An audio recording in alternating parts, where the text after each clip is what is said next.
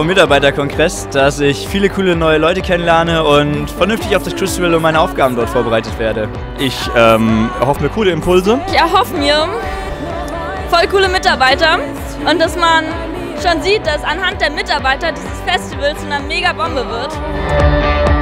Und Hauptsache du bist da. Mich begeistert dieser Zusammenschluss aus total vielen Vereinen und jungen Leuten. Ich finde das klasse, wie, weiß ich nicht, wie viele tausende Leute zusammenkommen, um Jesus zu feiern.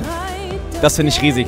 Mich begeistert fürs Christewelt, dass es so verschiedene, viele ähm, Projekte gibt für Jugendliche, also verschiedene Hallen in unterschiedlichen Uhrzeiten, viele Seminare, Barcamps, alles Mögliche und man kann sich das rauspicken, was man eigentlich will. Mach die Tür zu, schließ die Augen.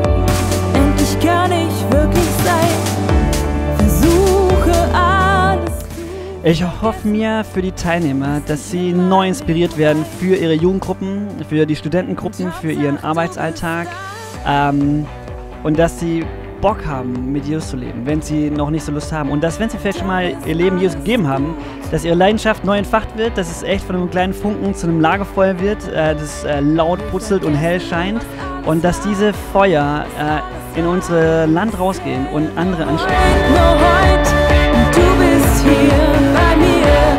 Meine Gaben. Mein Einsatz Mein Festival.